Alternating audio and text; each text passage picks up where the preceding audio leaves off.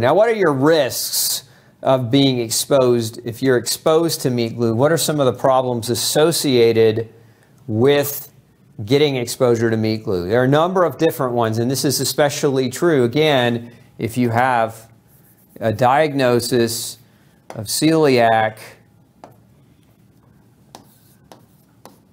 or if you are non celiac gluten sensitive.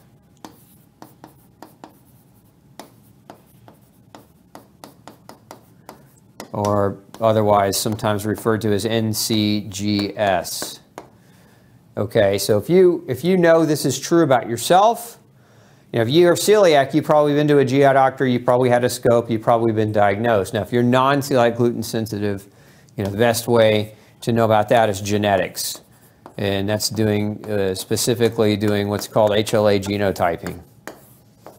Uh, because if you have the HLA genotype for, uh, for gluten sensitivity, not just celiac disease, but for non-celiac gluten sensitivity, then what happens is every time you expose yourself to gluten, the genes activate to produce inflammation in response to that exposure. So again, whether you've had the GI di diagnosis of celiac or whether you've had genetics done appropriately, um, either one of these are scenarios where you'd want to avoid gluten.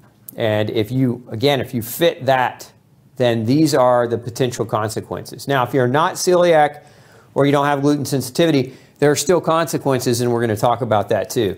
But number one, we know that it increases permeability of the gut. Okay, so we know that gluten uh, or meat glue exposure can increase the development, the risk of the development of leaky gut. We know it makes proteins more allergenic. Okay, and what does that mean? It, it basically it takes friendly proteins. Remember, it's meat glue. What does it do? It bonds and binds protein together right? So you might have protein A from a food that you're eating, and then you get that meat glue, and it forms a novel new protein, right? So it leads to uh, a neo protein, a new protein. And your immune system might not recognize that. And so that's what allergenicity is. Your immune system recognizes that it's a foreign because it's forming a new protein from that. And that's going to create allergenicity. So it makes you allergic. So let's say you're eating, for example, a steak and it's made out of meat glue and, and meat tidbits, and you react to it and you don't feel well, right? You may not be reacting to the meat directly, you may be reacting to, again, to the new proteins that are formed as a result of that meat glue binding and uh, homogenizing that meat together. And we also see an increased gluten reaction. There's some research coming up now that, that shows that meat glue um, can actually activate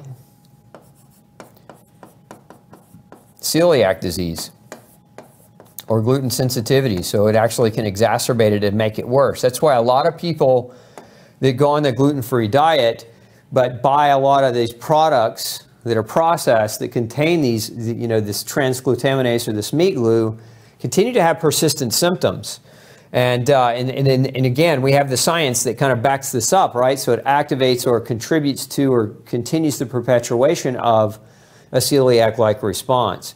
We know that meat glue can alter protein function. Remember, this, this, this shape in the, in the center of this is a protein, right? And proteins fold. And so the, the, the morphology or the shape of proteins dictate the function. If you've ever heard me say, square tires, right, don't roll. Structure dictates function. And so the structure or the shape of a protein as it's folding dictates its function, how it's going to work in your body. Well, if you add an enzyme from the food that you're eating that alters the shape, right, turns that round tire into a square tire, right, that now won't roll, then you have altered protein function. And if that protein is an important protein and its job is to help you digest your food, for example, now we run into problems. And this can happen in the GI tract. So altering a protein function. And we also know that, that your body will, that meat glue itself as a foreign entity will sometimes actually contribute to your immune system attacking it. So there's a, there's a process called loss of tolerance, and we'll talk about that in just a minute too, but this is part of how that happens is you lose tolerance to, to it, and so then your immune system recognizes it. Instead of looking at it as food, it actually starts to attack it. So again, these are ways that meat glue can actually impact and affect your health. And coming backward here just a little bit, remember, these are the foods that if you're eating these on a consistent daily basis, regular basis, then you're running a great risk of not recovering, especially if you're a gluten sensitive individual and you're trying to overcome the years of gluten induced damage. Again, a lot of people, what do they do? They go gluten free diet, but their diet is full of processed food. So they go to that grocery food aisle, right, that says label gluten free. The gluten free food aisle in the grocery store is predominantly this stuff right here. It's this junk, right? And it's got this potential for meat glue, not, and not just meat glue, other food additives, dyes, preservatives, etc.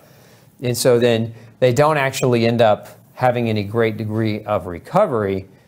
And so that's, that's part of the problem. So here's some things I wanted to show you as well on that same note. So I wanted to come back over here and talk about some what are the researchers are saying. So this was this image here was was published in the journal Frontiers in Pediatrics um, by Matthias Torsten and, and uh, Aaron Lerner, and so this these guys are super brilliant scientists and they're doing a lot of research right now into the arena of autoimmune disease, celiac disease, and as well the meat glue and the food additives and the food preservatives as being triggers.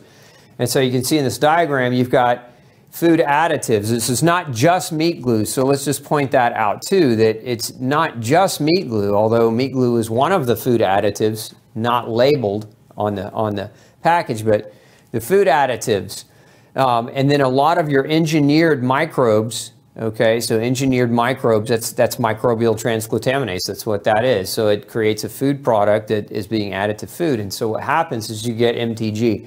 And what is MTG?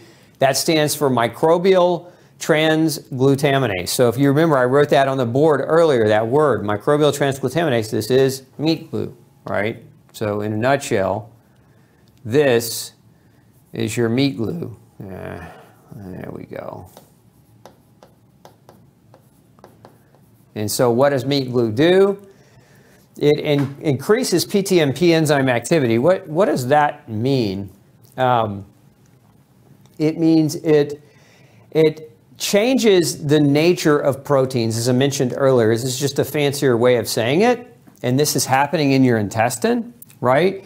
And so that increases antigen modification. What does that mean? That, that means it it basically, through changing and altering of your proteins, it creates the higher risk of developing an allergy to those proteins, which increases the ability of this allergy complex to, to bind to what's called MHC. Now, we're getting pretty technical here. MHC stands for major human uh, or um, uh, major histocompatibility. It's, it's a type of receptor that sticks off of your immune cells. So you can see this is the receptor sticking off. And so this protein, which has been modified, okay, is now being recognized as foreign, and that's why it's binding to that MHC complex. And so when that happens, we lose tolerance. We lose the ability to tolerate it, and so we get T cells. T cells are immune cells that actually create a response against that protein, and then the byproduct of that response, we're getting intestinal damage that can actually mimic celiac disease as well. So not only um, may you already have celiac disease as a result of gluten exposure, for example, but going and eating these types of foods can actually contribute to celiac-like disease. It's actually been one of the things that's been identified as a trigger for villus atrophy. So meat glue in and of itself. So even again, this is what I said, even if you're not gluten sensitive, if you're not a celiac, you may still be developing intestinal damage as a result of the way the body looks at meat glue and as the way meat glue processes and changes proteins inside of your GI tract. Hey, don't forget to check out the rest of the series right here. Make sure you hit subscribe below. And as always, thanks for tuning in.